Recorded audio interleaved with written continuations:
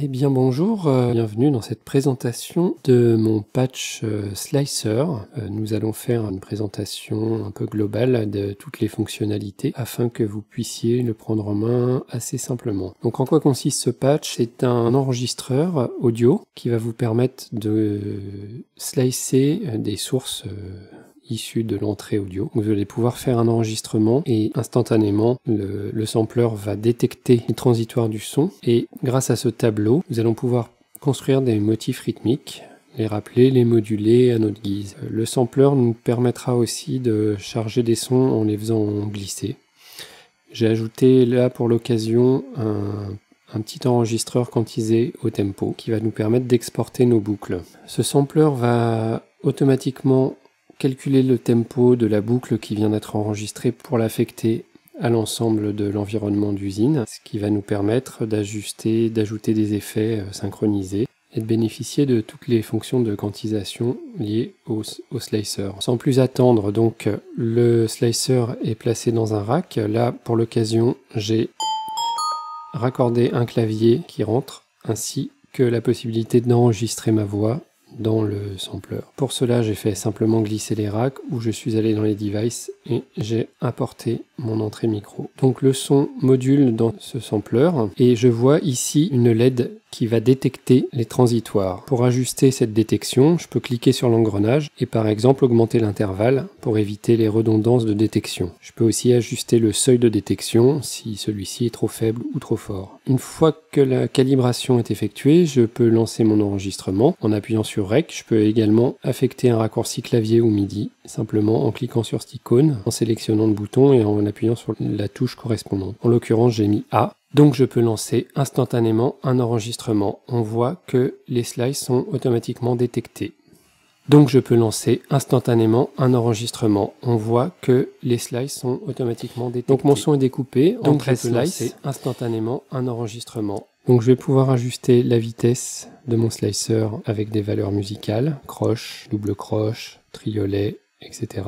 Chaque slice va être appelé ici. J'ai donc un tableau par défaut de 16 valeurs dans lequel je vais pouvoir sélectionner les slices qui doivent être lus, sachant que le slice 0 se situe en bas du tableau et le slice 13 en haut. Je peux créer des motifs complexes ou en générer aléatoirement avec cette flèche. Ici, je peux substituer les transitoires à une simple subdivision de la durée de mon son, donc par exemple 32 pas. Je vais pouvoir ajuster la durée de mes slices pour pouvoir créer des motifs plus syncopés et également ajuster la probabilité avec laquelle seront joués mes slices. Je peux choisir le nombre de pas de ma séquence de slices, donc il est ainsi très facile de créer des polyrythmies, ainsi qu'un paramètre de swing général pour créer des quantisations un peu ternaires. Enfin, j'ai un dernier mode qui me permet de renouveler le contenu du slicer à chaque passage, pour créer une séquence aléatoire à l'infini. Nous allons donc faire une petite démonstration on voit que les slices sont automatiquement détectés.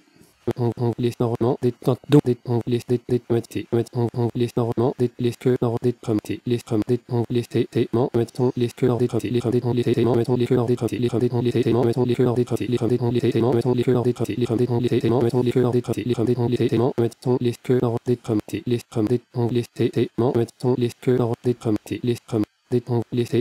mettons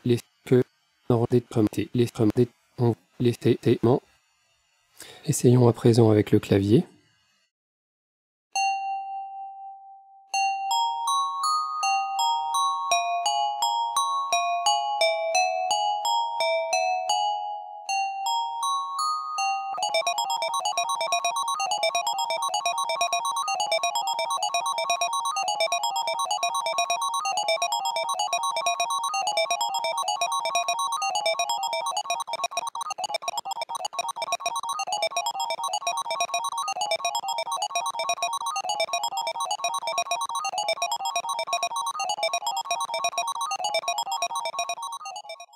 Alors je peux aussi euh, sommairement jouer sur le pitch et la vitesse de mon enregistrement.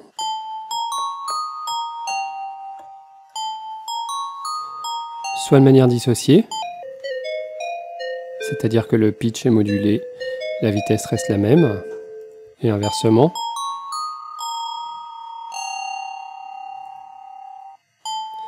Soit en liant les deux.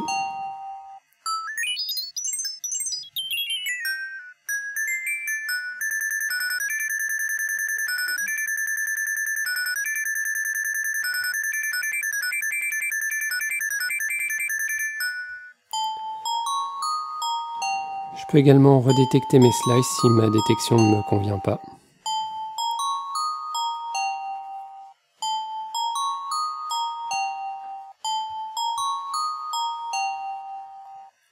Enfin, je peux charger un son.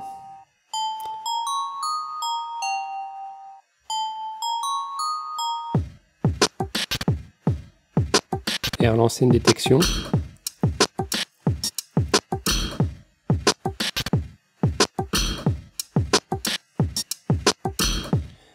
On s'aperçoit que le seuil est peut-être un peu trop haut pour cette nature de son, ou l'intervalle.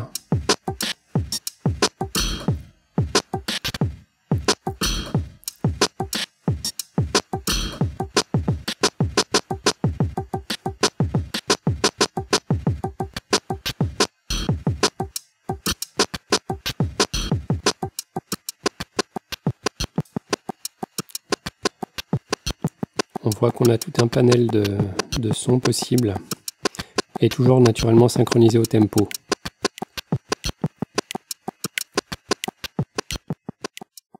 Imaginons que je crée un motif qui me satisfait.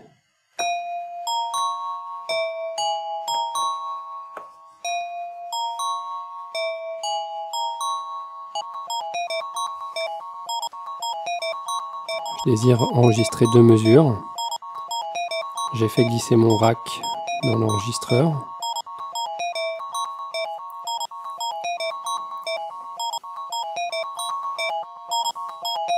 Voilà.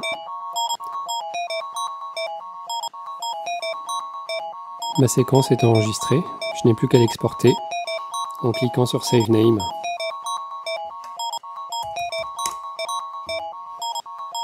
Et je peux l'importer dans n'importe quel autre logiciel au format Wave. Une dernière chose, je peux également créer des presets pour mon slicer.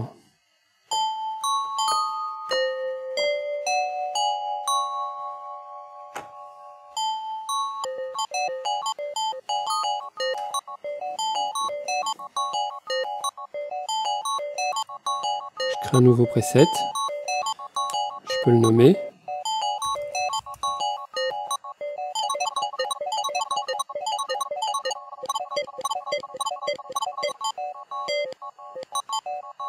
Un autre.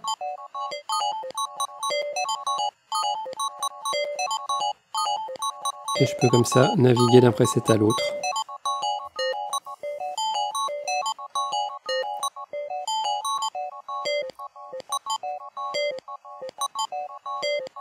Bien entendu, je peux faire un apprentissage MIDI.